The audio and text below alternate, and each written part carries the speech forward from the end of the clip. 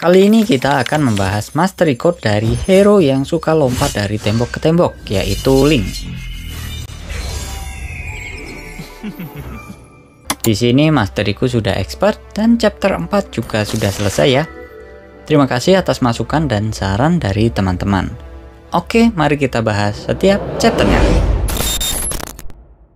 Halo, selamat datang di Omopus ID, membahas game Mobile Legends. Bang bang.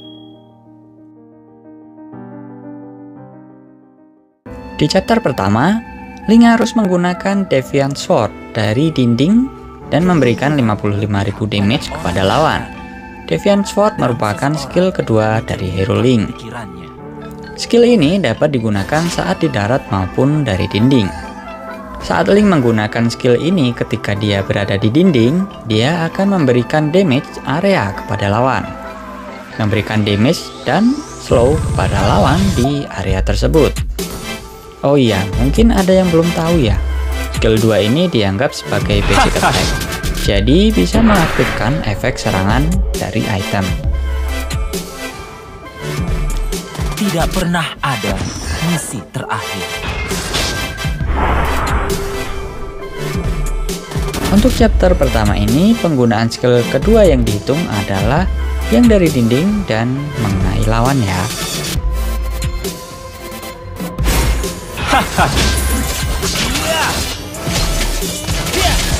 Atau jalankan adalah kata lain dari luar biasa. Tidak ada yang lebih baik dari bermain pedang. Lumayan. Lumayan.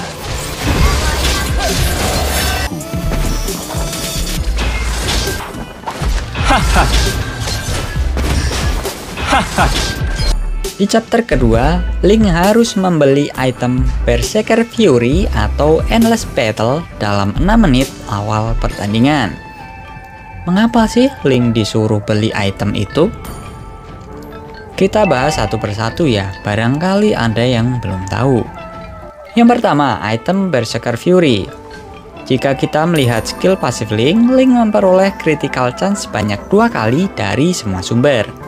Nah, item Berserker Fury ini meningkatkan critical chance sebesar 25%. Jika dipakai Link, maka dia akan mendapatkan critical chance tambahan sebesar 50% ya. Selain itu, item ini meningkatkan 40% critical damage dan menambah physical attack sebesar 5% selama 2 detik. Yang kedua, item Endless Battle. Item ini memberikan tambahan stats yang lengkap dan dapat memberikan true damage dari basic attack dan skill kedua Link. Ya, skill kedua Link juga memberikan true damage karena skill ini dianggap sebagai basic attack. Untuk chapter 2 ini, kalian prioritaskan aja salah satu dari dua item tersebut saat pertandingan dimulai ya. Waktu 6 menit ini cukuplah untuk Link membeli salah satu dari dua item tersebut.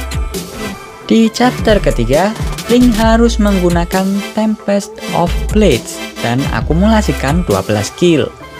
Tempest of Blade ini merupakan skill ultimate Link, di mana Link akan terbang ke udara dan tidak dapat diserang.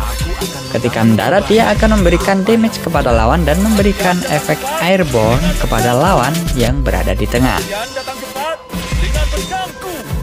Untuk chapter 3 ini, skillnya harus pakai ulti, yaitu kill saat Link mendarat di tanah dan memberikan damage. Jadi untuk mendapatkan poin di chapter 3 ini, usahakan HP lawan sudah sekarat dan sebisa mungkin lawan tersebut berada di area lingkaran dari ultimate-nya ini ya.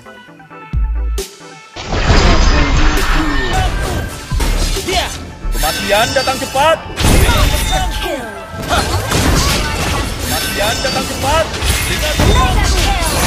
Di chapter keempat, Link harus memberikan damage terbanyak dari kedua tim dengan kematian yang paling sedikit saat pertandingan berakhir. Di chapter keempat ini tentunya Link harus bisa menjadi pemain kunci dari tim yang memberikan damage terbanyak. Dan juga harus mati paling sedikit ya.